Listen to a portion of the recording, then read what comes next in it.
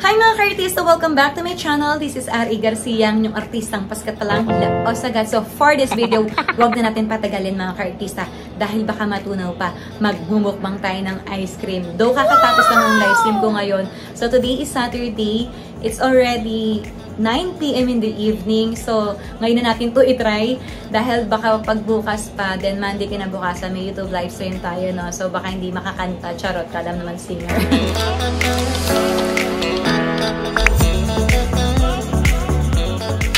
Okay, papasukin na natin siya. Siyempre, ako rin yung magpapasok. Dahil ako yung director, ako na yung assistant director, ako pa yung artista sa vlog na to. Charot.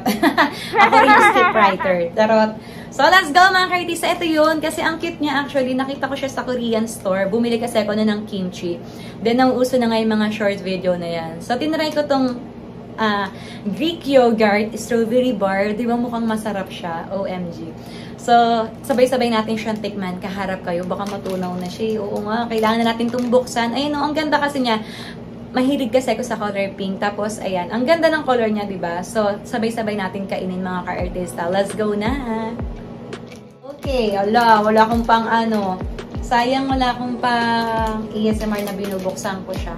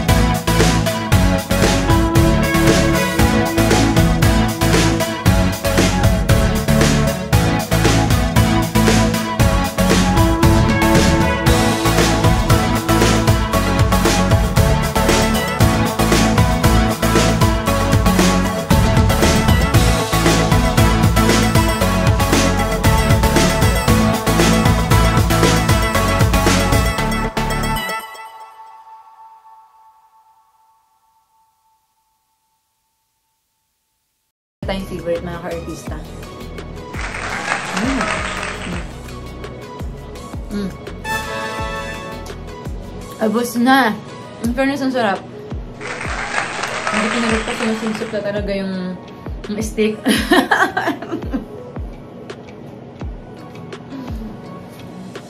ang sarap. So, This is my first uh, ice cream mukbang also. Mukbang, yun makamukbang isang piraso lang naman. So, thank you for watching everybody. See you again on my next vlog. And on my YouTube uh, live streaming every 2 p.m. Monday to Saturday. So, thank you once again to all the 16 subscribers. Thank you for the love and support. And God bless you all. And I love you all. Bye! See you on my next vlog.